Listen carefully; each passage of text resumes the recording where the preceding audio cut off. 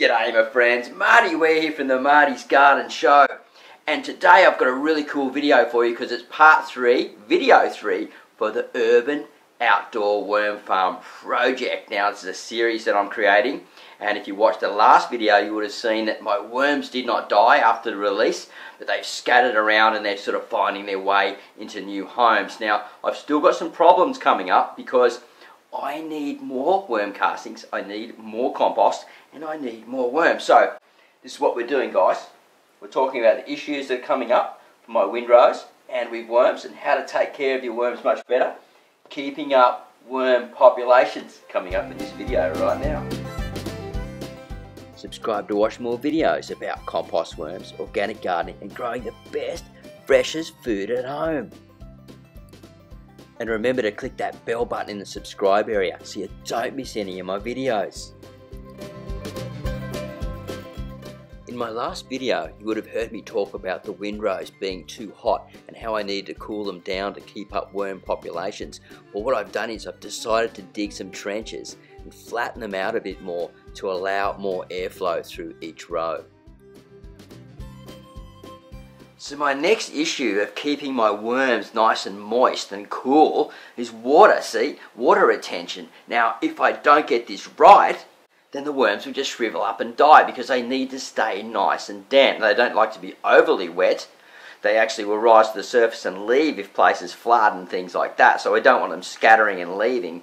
But I've got to keep these worm farms nice and moist so they move around and feel comfortable and have a perfect habitat. So one of my issues was I found that the cardboard on the hot days was drying out underneath the shade cloth and then when I was watering it, it was just running off the sides and all the water was going down to the edges and it wasn't seeping through because we're still getting some hot days here. So what Karen and I had to do, we got together, pulled the wheelbarrow out and started ripping all those pieces up so we could fluff it all up, put it back underneath the shade cloth and so when the water hits it it'll run off all little angles and go down and penetrate down below and leave perfect breeding areas for the populations to increase. Now ants in my worm farms and compost could be a real problem. I've never dealt with these in huge numbers like this and these guys they're super intelligent and they love to eat meat, right? So they're, they're full on carnivores. And as I speak, they're, they're getting all over my all over my camera and starting to get on me, these tiny little black ants. I'm going to get out of here, but I'm going to sort this out for sure.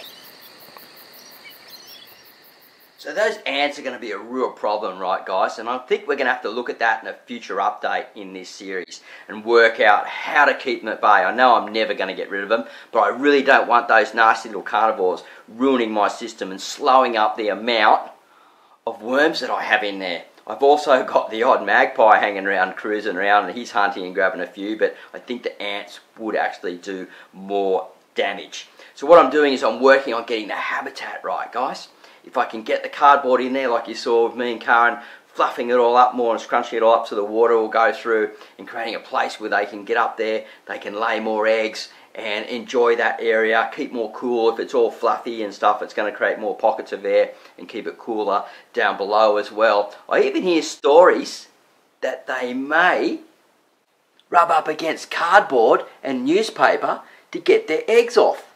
Maybe they do that in the wild against like sticks bark, leaves, things like that. Guys got any ideas about that? Let me know in the comments box down below. So it's 4.30 in the afternoon here and it didn't get as hot as it was supposed to because it's been cloudy most of the day. But what I want to do is look, I've got these jute bags now underneath with the hessian. And I want to see how well they're doing underneath this material here. Let's have a look underneath this newspaper. Oh, look at that they're obviously getting together there and enjoying their company. We'll put that back over there. And see if they're under this area as well. You can see a couple more here. So let's lift up this part of the newspaper here. I mean the jute here. Okay, so we need to lay down more newspaper underneath that area So to keep up worm populations, we need to look at these four elements. Habitat, temperature, moisture, and food. Now habitat is super important because These guys, they need to go somewhere to regulate their temperature. If it gets really hot, they need to dive down deep into that compost, get cool again, or get warm again. Now, you can do that providing a very good compost, such as mushroom compost, in your worm bins or outside in the windrows. Now, temperature. Again, temperature is really important, and that's got a lot to do with moisture and food and the breaking down of the compost. Now, if the compost is still very young, it's going to get hot, and these guys are going to get too hot. They like to be like us. They don't like too much heat. If we're too hot, they're too hot, believe you and me. So they like up to around about Australian, the red wiggler, I think 28 degrees, something like that, which I think is about 75 in US temperatures. Uh, let me know in the comments box down below because I'd like to know more about that. Right, moisture is really important. So, the moisture, we need to be careful not to hit them too much with chemical water such as chlorine and fluorides and things like that. Now, if you've got a worm farm, plastic one, you're putting water through, get the water out of the bin, actually into a bin or something like that, and sit for about a day or two, and then use that, and all the chlorine will have dissipated out of it. When you're using the hose, I find that it doesn't seem to affect it so much if it's got to run through some wood chip and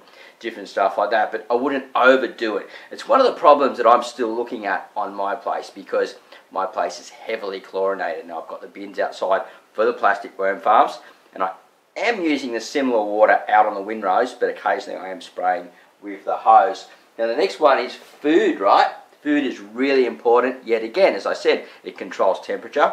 Too much food can make it too hot and bring on the composting process and heat up the farm. And if you're putting too much food, it can also bring in nasty little bugs and things like that. And if you're not giving the right food, they're not going to stay healthy because you need food such as the grit for their guts, so a bit of eggshell, uh, a bit of coffee grounds, uh, maybe even like a bit of sand or a bit of dirt, stuff like that, with their food. So food is really important, and high protein foods will make them lay more eggs. Now they love lots of sweet stuff. As we know, they've got a bit of a sweet tooth. Anyway, look, I'm Marty Ware from Marty's Garden. There's lots more videos coming up on this series about my outdoor worm farming system. And you're going to watch them here, right on the Marty's Garden Show. And more worm farming organic videos coming up about how I garden at home and how you guys can grow more food at home too. Have a great day, happy gardening, click on the videos here and here and the subscribe button here so you don't miss out on any more videos. Click that bell button and I'll see you at the next video real soon. Bye for now. Urban Outdoor Worm Farm Project Series. Don't miss it guys. Subscribe now.